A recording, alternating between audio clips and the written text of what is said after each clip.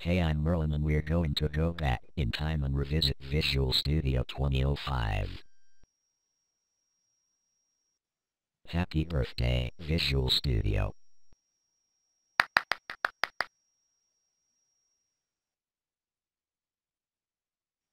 Debugging is all about collecting information and finding out what is wrong in your application. Part of the trick in collecting information is pausing or breaking into the execution of your application at just the right spot. A common method to set a breakpoint is to press F9 while the cursor is on the line of code you want to break on. When a breakpoint is set, a round red glyph will appear in the left margin of the editor.